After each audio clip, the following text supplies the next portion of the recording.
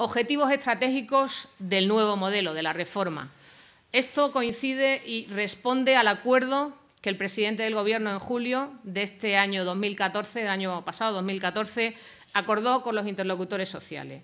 Y los objetivos son claros. En primer lugar, favorecer la creación de empleo estable y de calidad. En segundo lugar, mejorar la competitividad empresarial. España tiene que competir en un mundo cada día más global con las personas, con el talento, con su capital humano.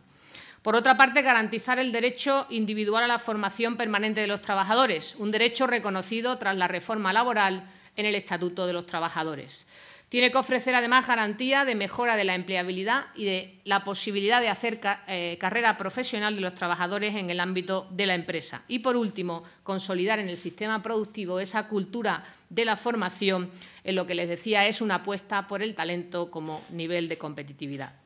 Y, por otro lado, queremos que el sistema sea más eficaz, sea de mayor calidad, pero también sea un sistema transparente y, sobre todo, que se pueda evaluar de manera permanente. Queremos que la evaluación sea también una de las claves de este sistema y que se incremente la coordinación entre comunidades autónomas y Gobierno, todos los actores implicados en este nuevo modelo de formación.